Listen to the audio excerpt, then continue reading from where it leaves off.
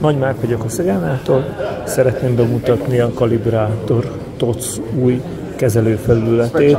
Itt most a, éppen a Bögbálnál most mutatták be ezeket a, az új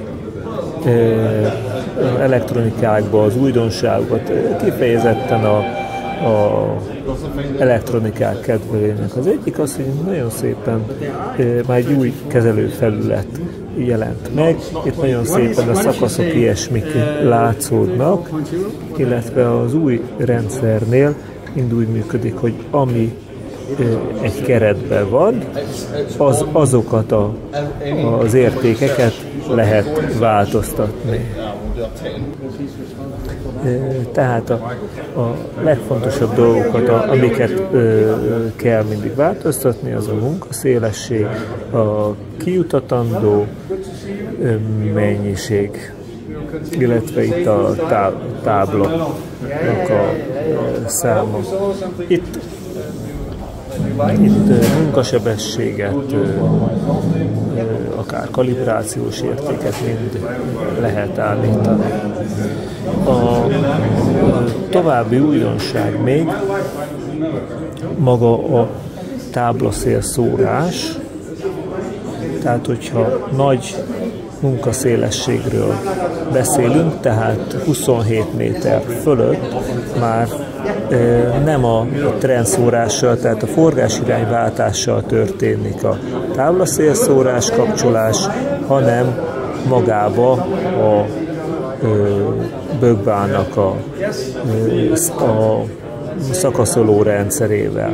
Itt mutatja azt, hogy a táblaszélszórást jobbról vagy balról szeretné, és ez nagyon jó, mert ezt most már megállás nélkül, tehát menet közben lehet állítani, hogyha én táblaszélszórást kezdek, ebben semmi időt így, semmi időt sem vesztek, hanem menet közben nagyon gyorsan tudom állítani.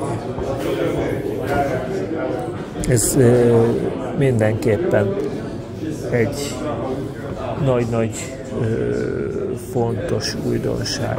Ennek a ezt a, a kijelzőt, az új kezelőfelületet egyébként megkapta az izobuszos rendszer is. Amikor táblaszélszórás szeretnék, akkor még tudok kétfajta ö, rendszert állítani.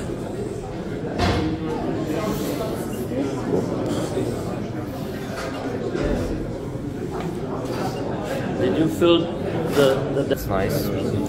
Oké, okay. tehát 27 vagy nagyobb munkaszélesség esetén működhet a, ez a menet közbeni táblaszél szórás kapcsolás, tehát ilyenkor a, a szakaszoló motorok fognak működni, és ezek fogják végezni a, a táblaszél szórást. Tehát bemegyek a menübe, ez majd a, magyarul lesz az otthoni aknál, a settings, van itt egy headline mód, ez a táblaszél mód, és a dinamik táblaszél módba rakom, akkor látok háromféle módot.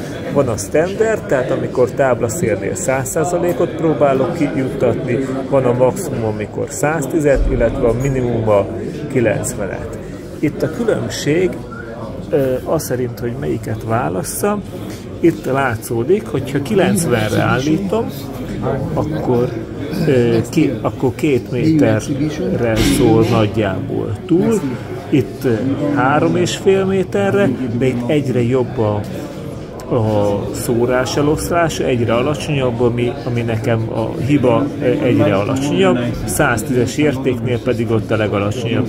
10,9 a, ez a százalék, viszont ott már kicsit nagyobb a, a túlszórás mennyisége. Egyébként ezt az értéket itt mutatja is, hogyha berakom mondjuk egy maximum 110-es értéket, akkor táblaszórás esetén automatikusan mindig azt fogja választani.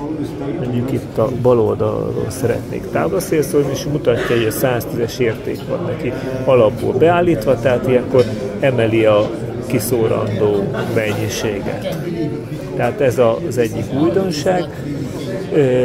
Mindjárt megnézzük, hogy milyen a menüje, de nagyon-nagyon hasonló a menüje az, hogyha izobuszos.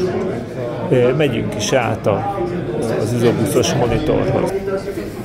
Tehát a izobuszos monitornál is gyakorlatilag szinte teljesen ugyanaz a menü. Itt is gyakorlatilag ugyanazok állíthatók. Egyébként amiben kerete van, az, azt lehet állítani, tehát azokat tudjuk lépni. Hogyha itt esetleg egy táblaszélt szeretnék, akkor itt is tudom állítani, hogy normál táblaszélhez szórás, ez a, tehát a táblaszél tör, tehát amikor a mesdjén megyek, azt a módszert csak a trendszórással, tehát a forgás irányváltással tudom.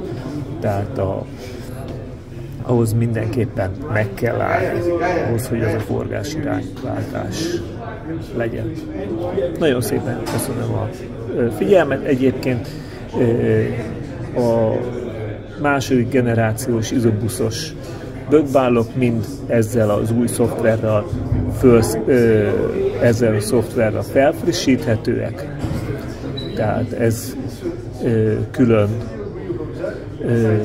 összeget a frissítésre a gyár nem kér, amennyiben szükséges, szeretnék ezt a frissítést, keressenek bennünket. A Szegánától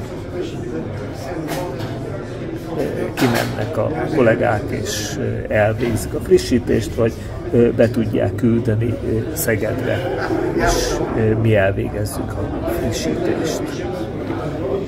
Köszönöm szépen a figyelmet, tekintsék meg további videóinkat is.